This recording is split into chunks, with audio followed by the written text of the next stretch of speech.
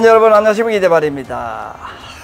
오늘 우리나라 난초 하시는 분들에게 가장 골머리가 아픈 피해를 크게 초래하는 질병 중에 한 가지를 소개할까 합니다.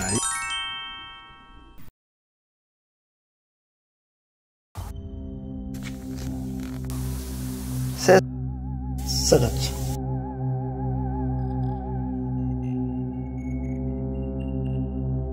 요 겉껍질 난초는 겉에 있는 요 피부가 있죠. 이쪽에 지금 감염이 났습니다.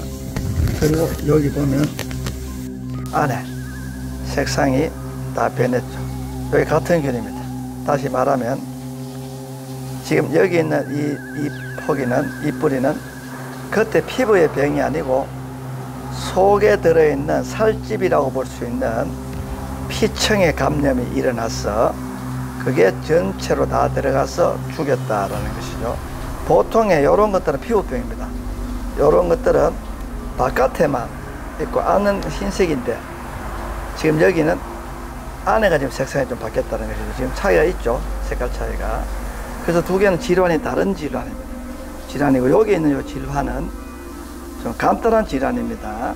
코리스와 스포닥으로 치료하면 되는데 자, 요 물을 좀 먹여보도록 하죠. 그리고 지금 이 정도 되는데 냄새가 예, 굉장히 많이 납니다. 그리고 자 여기를 보시면 섬유질이 이렇게 지금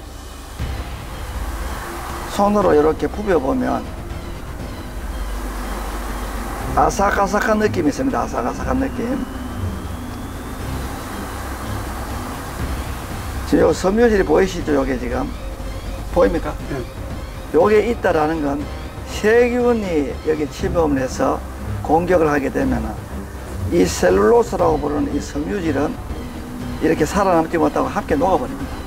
세균은 소화액을 내보내서 허물허물하게 해서 빨아먹으니까 그래서 냄새는 자 냄새 맡아보시기 바랍니다.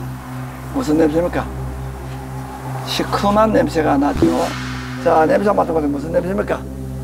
시큼한 냄새. 자 우리 이 냄새가 나면 이 병에 걸렸다라고 볼 수 있고 이 냄새가 나면 이 병으로 진행될 수 있다는 걸 볼 수 있고 자 여기를 좀 찍어주시기 바랍니다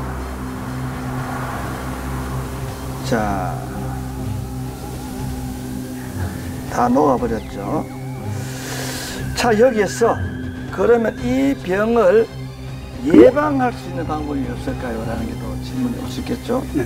예방은 청결하게 하고 자주 열어보고 그 다음에 물을 30초를 주시고 헐렁하게 심고 해서 곰팡이 포자나 이런 것들이 기생하거나 들어붙지 못하게 좀 해주는 방법하고 그 다음에 스포탁과 코리스를 주기적으로 관주를 통해서 이런 병원군이 붙었을 때 처리가 될수 있게끔 어, 해줘야 된다는 것입니다.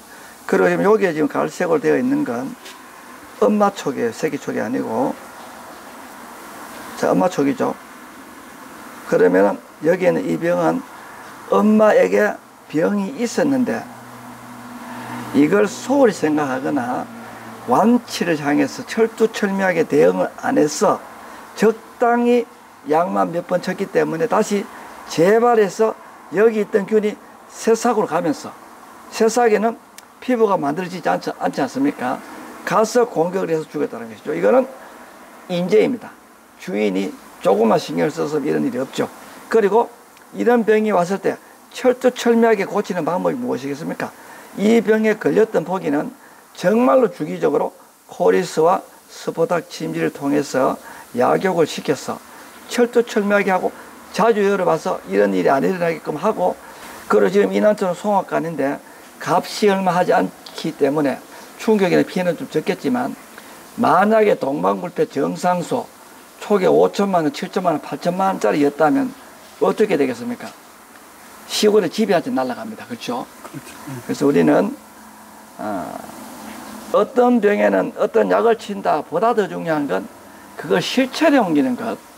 그리고 한번 왔던 포기는 암에 걸려가지고 수술을 했던 사람처럼 주기성을 가지고 치밀하게 철두철미하게 3년, 4년 동안 재발되지 않을 때까지 가서 완치 판정을 받아야 된다는 것이죠.